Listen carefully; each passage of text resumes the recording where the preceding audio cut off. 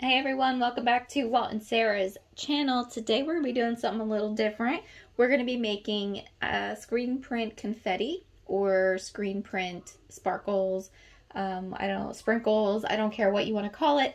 We're making those little pieces of screen print that you see people will spread around their image after they sublimate it or screen print it. And this just adds a little extra oomph to it.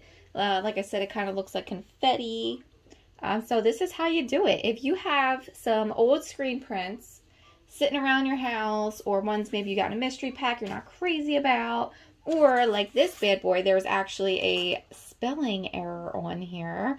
Dun, dun, dun. So um, instead of wasting all of the copies that we have, I'm going to make some screen print confetti. And um, then we have this one, which I actually really love the screen print, but I need the purple from it. So I'm going to show you how to do that real quick. So this one I'm trying to do black, green, and purple because we're going to do like a little Halloween shirt and I will show you the finished project when we're done.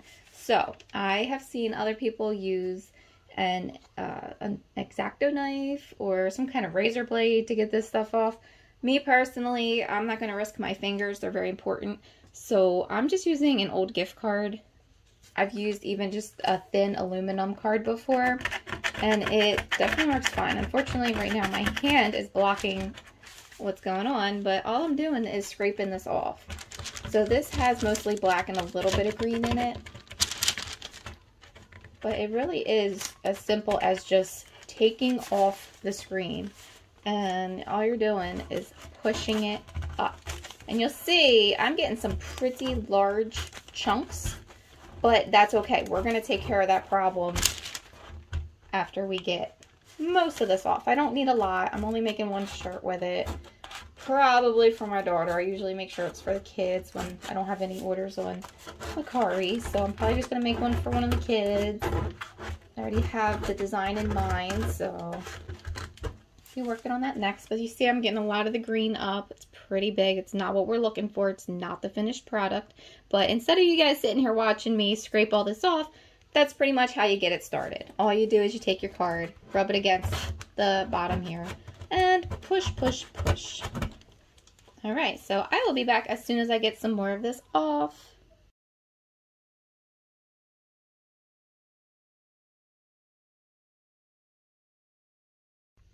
So now I have a large amount of the screen print off of here of the black and green, mostly green. I really want to get more of the green color off.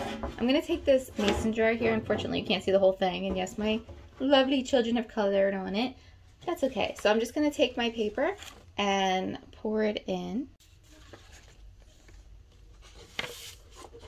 This reminds me of like the school projects with the glue and the glitter where you gotta try to keep it all on the paper and then use your paper plate to put the glitter back because, you know, teacher wants to save as much as possible for the next project. So again, in here is green and black. I'm going to get some purple to add to our collection here.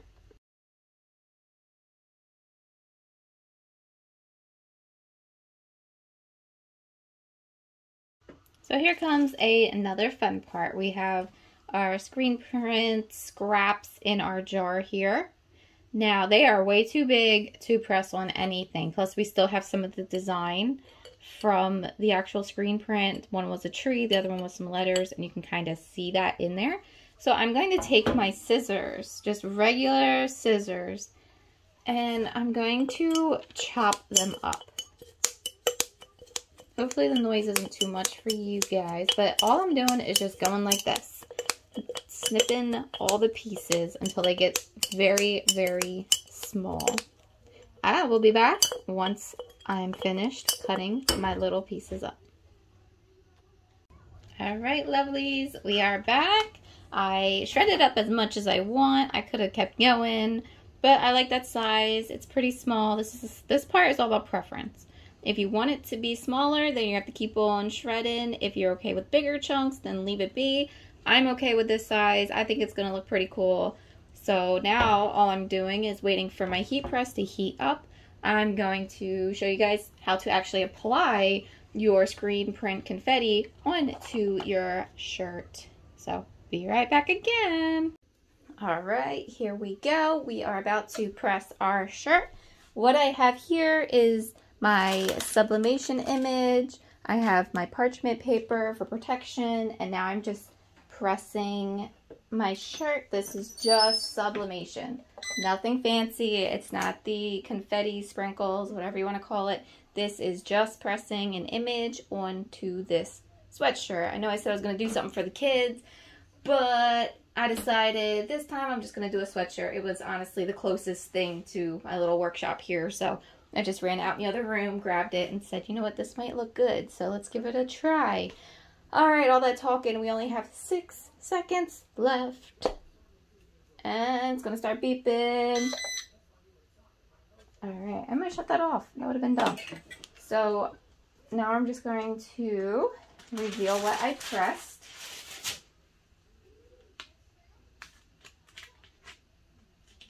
It is hot, hot, hot. This hoodie is 50% polyester, 50% cotton.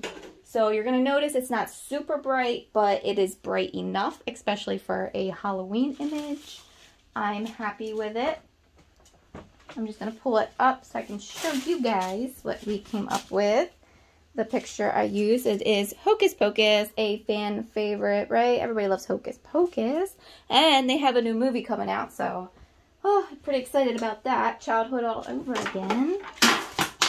All right, so I'm to get set up now for our screen print confetti. This is going right back on there. I only took it off to show you guys. And on the flip side, I need to turn down my temperature to 325. So I'm going to pause it just because the beeping is going to be very loud. So I'm going to pause the video real quick, drop it down to 325, and then come right back.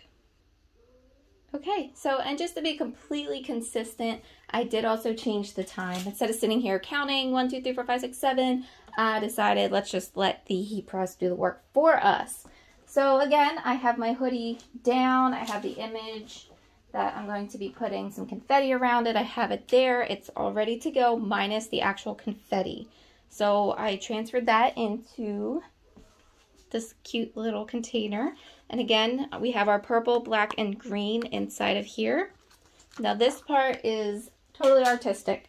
You get to select where you want to put your fun confetti pieces. Um, I just like a little bit. I usually just do like a frame, kind of just go around my image a little bit because I don't want it to be overwhelming. I don't want it to take away from the actual photo, but I do want to give it a little bit of character. And also a little bit of a texture too, because you remember screen prints have that texture feel where your sublimation is very smooth and has no texture. So I'm just spreading it around. I don't want any on my photo. I don't want any on the ladies there. So I'm kind of pushing it around. It does move very easy. And if you put way, way too much and you need to remove it, just grab a lint roller or double-sided tape or something. And that should just suck it right up. Or pick it right up, I should say, right? I'm not using a vacuum. All right, so now we're going to press in our screen print confetti. Now, pro tip, pro tip, I would use a separate sheet of parchment paper. Get a new sheet out. And the reason is sometimes your image, your sublimation image, will be left over on your parchment paper. And I don't actually see any on this paper, but the last time I made the shirt, I actually had to redo it, or I'm sorry, different shirt, but same thing, confetti. I had to redo it because the sublimation ink was still on the parchment paper and then it ended up giving me a very ghosted image because it was somewhere else where I did not want it. So pro tip, grab out another piece of parchment paper. It's going to save yourself that possibility of ruining your image.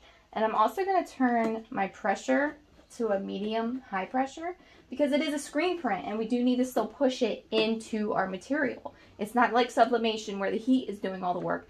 This time we need a little bit of pressure to get our stuff on there. And that's too much pressure. Oh my goodness. Hold on. Got a little carried away there. Nah, it's not.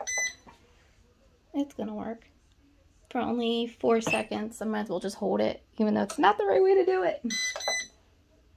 Okay. Well, the struggle was real there, but it's gonna work. It's gonna do what I need it to do. Okay, guys. So here's a little bit. Here's my first round of confetti. As you can see above the picture, there is a little bit here. Now I'm going to be adding some elsewhere on the hoodie. I'm not really sure where, where it would look good. Definitely on the sides. I'm going to to put some on the sides. And maybe down at the pocket. The pocket might look cool too. So I'm going to add some more because it still looks pretty plain in my opinion. So I'm going to add some more and then show you guys the finished product.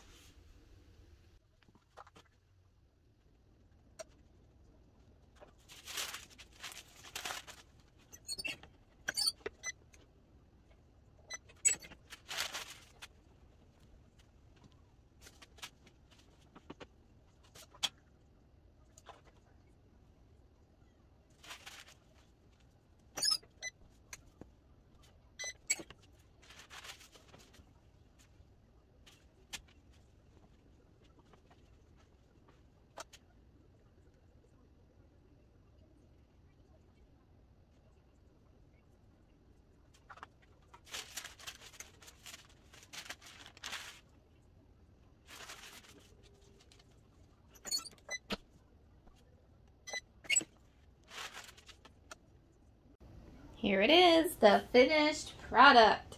So this is an extra large 50% cotton, 50% polyester, Jerzees brand hoodie. Like I said, I added a little bit of the confetti down at the pocket. Just gives it that little bit of extra character, especially if you like the bleached look.